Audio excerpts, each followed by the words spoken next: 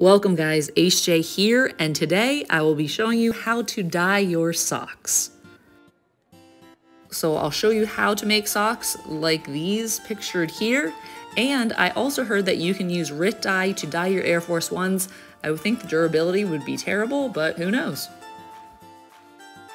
To begin, we'll go ahead and we will start to heat up some water. Most of the directions say do not boil, and then you will add salt to the water.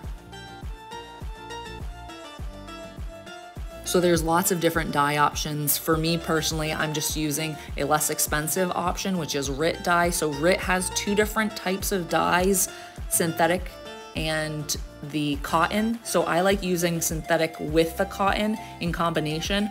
Also, I have used tulip dyes too. Um, both are pretty decent. They're not the very best, but it'll work well. So depending on what type of method you're using, most ways to tie dye, you want to completely saturate the socks, especially since this version that we're doing here is going to be, the socks are completely one color. So if you would have your socks that are wet in one area and then dry in another area, sometimes it can make the dye as it seeps into your socks not be a consistent color and this is RIT synthetic. And then I also, which you don't see, I add in the RIT cotton for the same color of yellow. It might not be the daffodil yellow, but it's pretty much the same.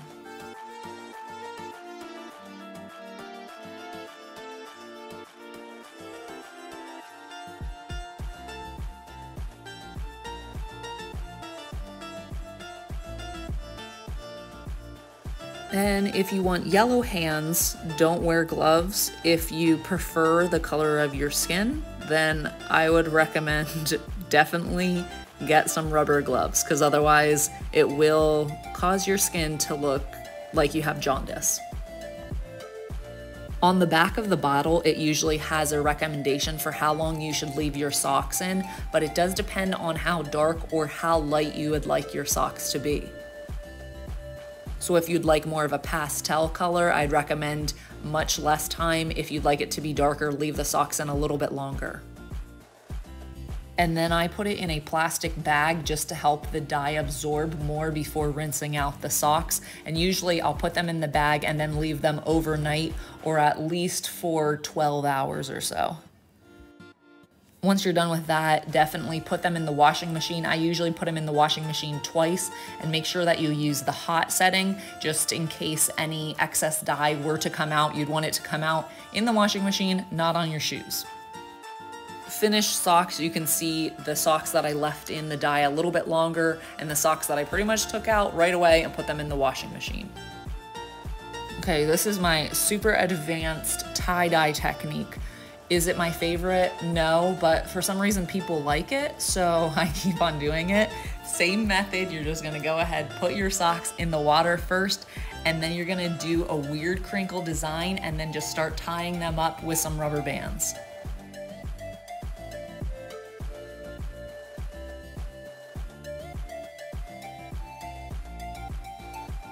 So if you're doing two different pairs, let's just say one is going to be purple and pink, the other is going to be uh, pink and blue or something, make sure that you keep them together. You don't want to get any dye on the wrong color socks. Um, another thing to keep in mind is the placement of your dye. So do you want the dye more on the front of the socks, the back of the socks, or all over the sock? So obviously you want it to be pretty much all over, but try to keep it as equal as possible. And now I already mixed up my dye in a bottle and I'm just squirting it on.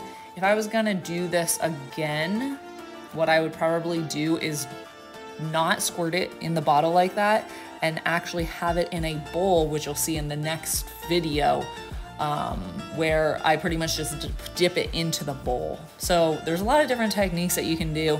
Is this the coolest technique? I don't know, you tell me.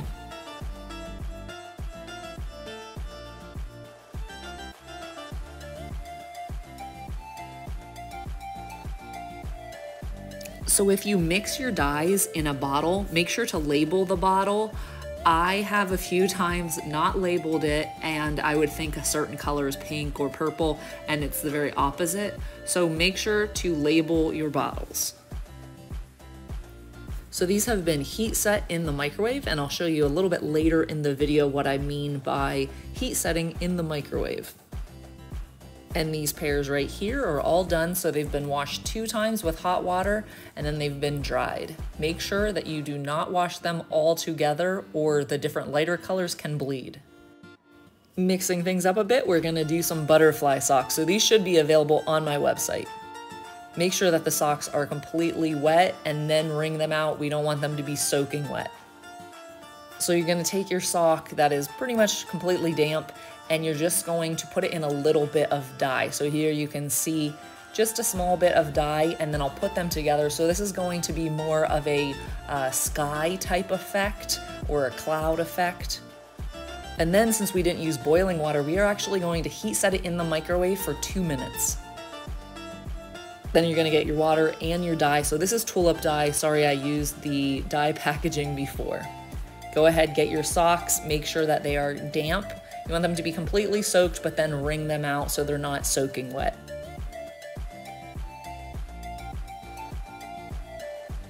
And you've probably noticed I'm only using glass containers. That's because we are going to then heat up the containers in the microwave and then in the videos before you saw how I was putting the entire pair of socks in the microwave, you can do that too. So once you've soaked your socks but then have wrung them out, then it's time to add your dye. So we'll do water and then dye, and then you can see the containers that I'll be putting them in.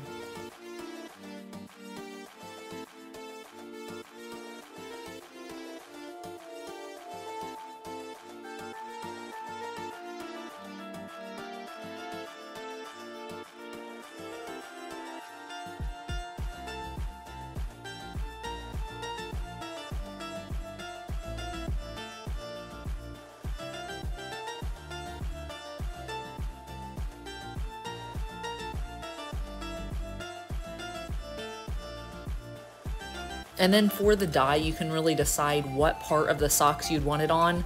For me, anyways, even though my house is super spotless, I feel like as you walk in your house wearing socks, they always get a little bit yucky on the bottoms. But if you have dye there, it doesn't really show up as much. So totally up to you, but I always try to make sure that the area that I'm walking, like the sole of the sock, I always get dye and then usually I'll do a little bit of dye on the toe as well.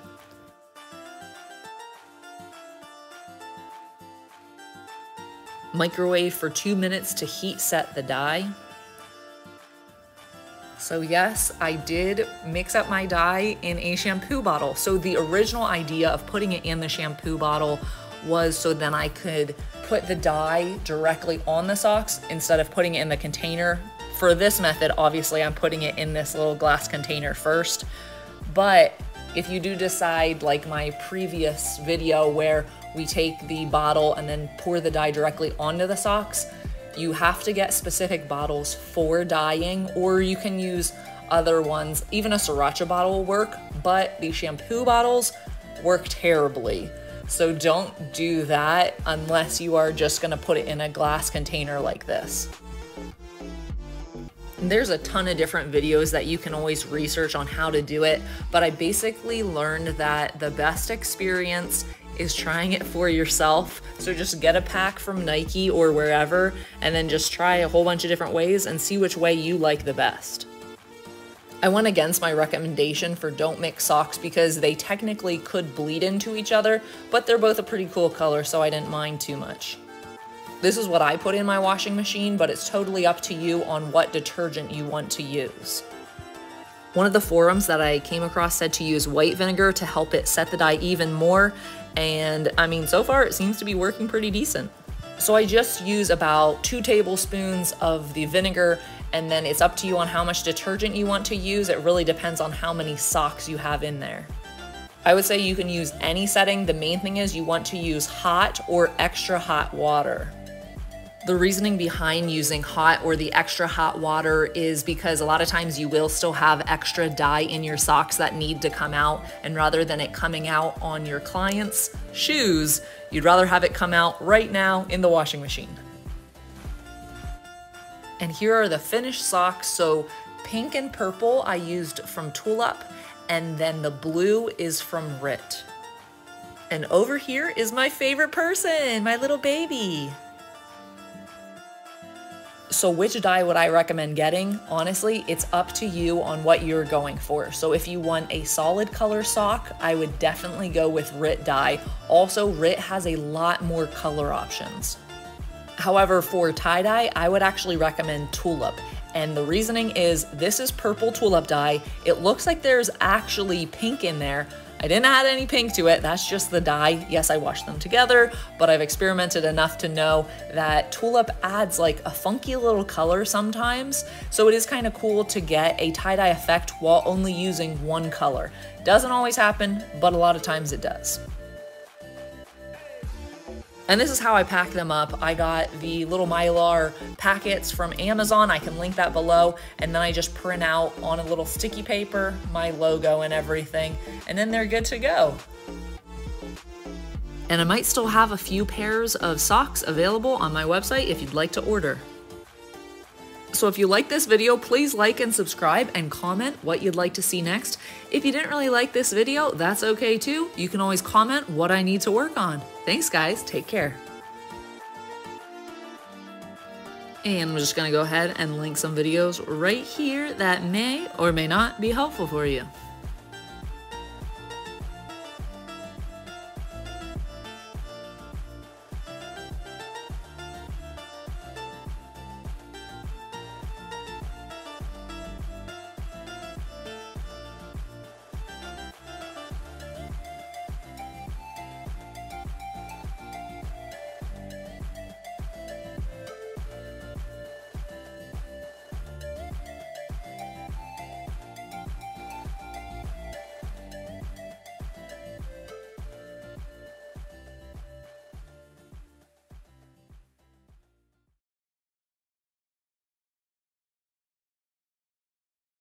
For my body rolls, watch out for my body rolls. High kicks, high kicks, this is how we do it. Watch out for my body rolls, watch out for my body rolls. High kicks, high kicks, this is how we do it.